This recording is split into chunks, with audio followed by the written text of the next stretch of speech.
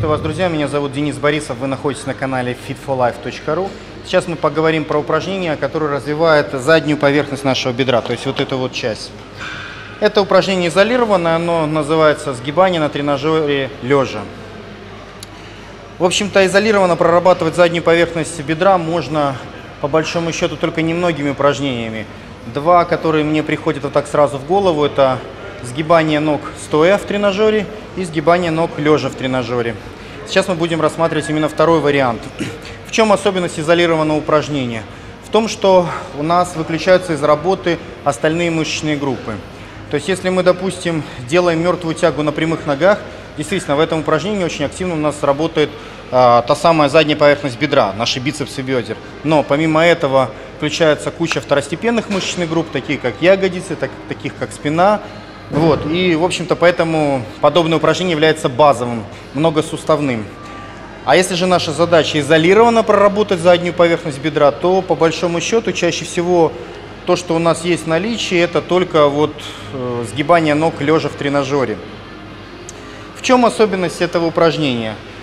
Особенность заключается в том, что в нем очень сложно сделать что-нибудь не так, ну, если вы не полный идиот, конечно.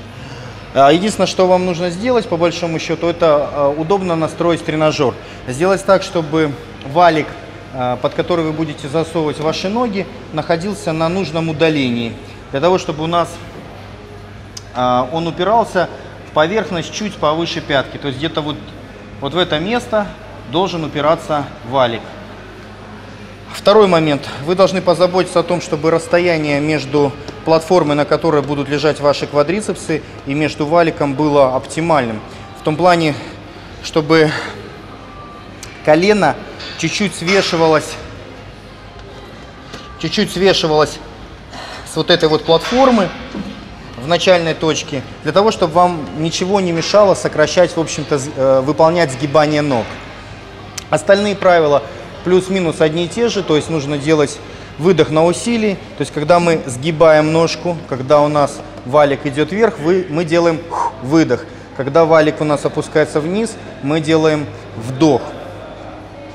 Есть различные модификации выполнения упражнения, в том плане, что можно тоже двигать носки наружу, двигать носки внутрь, но в, в данном упражнении работает, честно говоря, это не очень хорошо. Я сторонник придерживаться классической формы выполнения упражнения, когда ваши ноги находятся параллельно и носки, соответственно, тоже находятся параллельно. Как это все выглядит? Мы подходим к тренажеру, опускаемся на него, и наши ноги автоматически залазят под валик.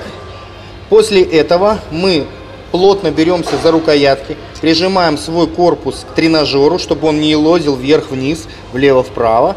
И начинаем выполнять сгибание ног. Смотрите, э, носки у меня параллельные друг другу, они не смотрят друг на друга, они не развернуты в разные стороны, они параллельны. В нижней точке я не пускаю вес до конца. То есть в нижней точке у меня происходит натяжение – я как бы работаю внутри амплитуды. В верхней точке у меня сокращение, пауза на секунду. В нижней точке у меня происходит растяжение, опять-таки пауза на секунду. На протяжении всей амплитуды движения, а она, кстати, очень плавная, как вы видите, у меня происходит постоянное напряжение бицепсов бедер. Причем в верхней точке я могу даже задержать эту паузу на несколько секунд, чтобы еще лучше почувствовать свои бицепсы бедер. Выдох, пауза, вдох, выдох, пауза, вдох, выдох, вдох.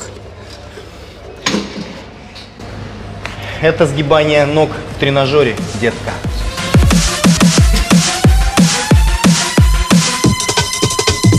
Feel